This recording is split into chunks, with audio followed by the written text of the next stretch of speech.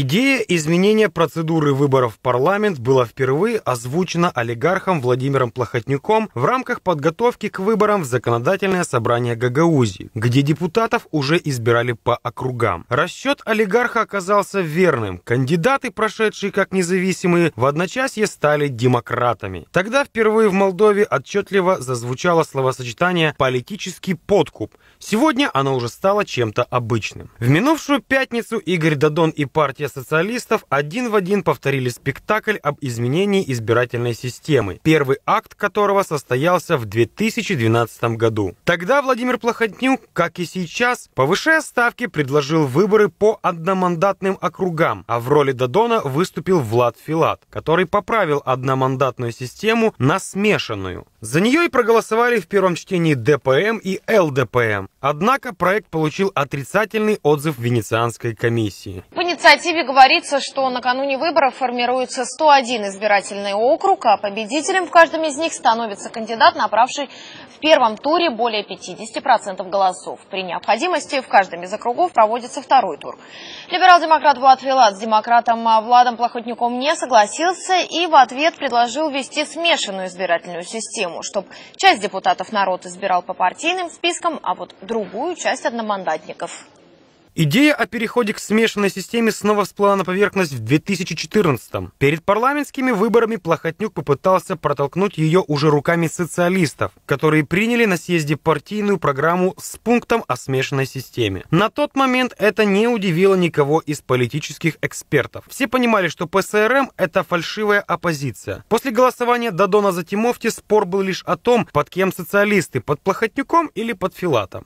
Astăzi vă pot declara oficial că domnul Timofte a acceptat integral prevederile testului statalității propus de Partidul Socialiștilor.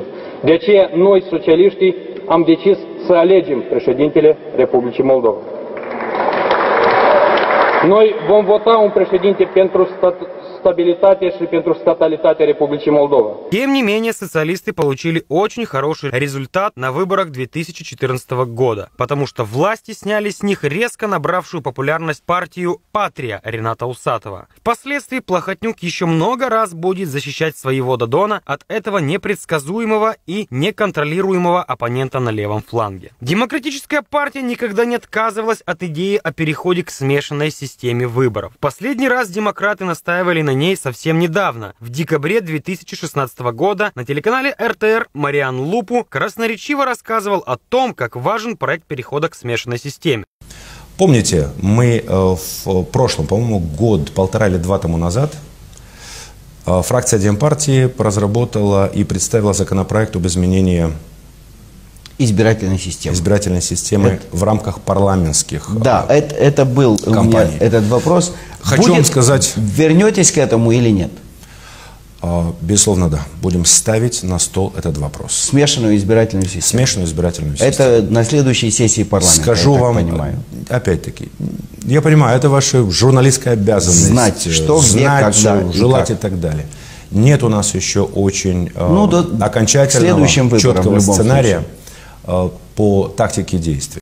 Прошло еще немного времени, и партийный шеф Марьяна Ильича Владимир Плохотнюк снова выдвинул инициативу публично. Все происходило по уже отработанной в 2012 году схеме. Олигарх предложил не смешанную, а одномандатную систему. Он опять потребовал большего, чтобы получить желаемого. Последние несколько месяцев звучало много предупреждений о реальных целях Плохотнюка, но это никак не помешало так называемому президенту Игорю Дадону и партии социалистов выступить с проектом смешанной системы системы, как того, собственно, и хотел фактически руководитель и хозяин этой партии.